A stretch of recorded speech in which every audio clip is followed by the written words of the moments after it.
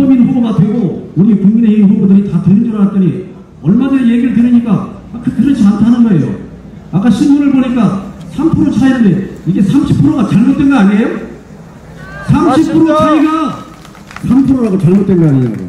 맞습니다. 그럼 30%입니다. 어떻게 지난 4년 동안 일을 해봤으면 그 사람이 일을 제대로 하는지 잘할 텐데 어떻게 이분이 나왔는데 3% 차이 뭐가 잘못된 거 아닌가 그걸 확인하러 왔습니다. 30%가 맞습니까? 10%가 맞습니다. 맞습니까? 30%! 맞죠? 예! 여기 와보니까 그렇게 숫자들이 많아. 저는 명수인데 최명수가 없나, 김항수가 없나, 정기수가 없나. 이렇게 숫자들이 많아요.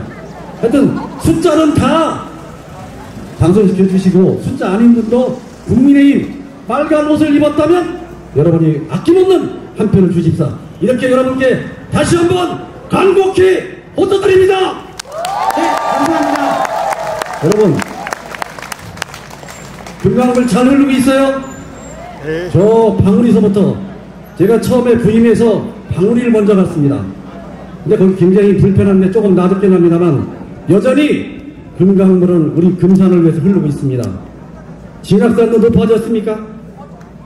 제가 보니까 금산의 금강물은 잘 흐르는데 금산 군청의 행정의 물은 흐르지 않고 있다. 그 말씀을 분명히 드립니다. 맞습니다. 저는 지금 국회 행정안전위원회에 있습니다. 행정위원회. 저희 소관이 전국의 시도나 시군구가 무슨 일을 하고 있는가 그걸 감시하는 게 저희 국회에서 일입니다. 그런데 우리 충남도 아까 말씀했는데 여기서는 잘한다고 돈은 많이 나눠주는데 충남의 미래를 위해서 아무것도 새로운 사업이 없습니다. 우리 금산 앞으로 어떻게 발전시킬 건가 하는 미래 비전 자체가 없는 거예요. 아, 문정은 사람 좋죠. 사람 좋아요. 그런데 사람 좋다고 일이 지는 건 아닙니다. 벌써 금강물은 흐르지만 금산의 행정의 물은 흐르는 것이 아니라 폐보하고 잘못되고 있다. 그걸 분명히 말씀드립니다. 벌습니다. 그래서 이번에 범인을 잡아서 범인이 제대로 금산을 일할 수 있도록 기회를 주십사. 다 아시는 거지만 제가 멀리 아산에서 와서 이렇게 호소를 합니다. 저는 금산을 사랑합니다. 제가 끝까지 금산의 버티는 열심히 심부름하겠습니다. 큰 여러분께 도움은 안 되지만 늘 마음은 금산이 잘 되고 이 시장이 활성화되고 이 금산이 삶이 잘 되는데 저희 적은님이나마 보태겠습니다.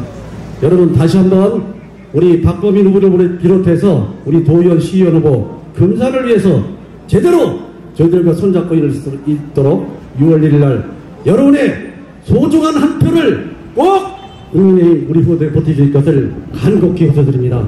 여러분 정말 감사하고 자주 인사 못 드립니다만 늘 건강하시고 이번에 다시 한번 우리의 뜻과 의지를 확인하고 결집하는 6월 1일이 되기를 바라겠습니다. 여러분 고맙습니다. 감사합니다. 네, 고맙습니다. 감사합니다.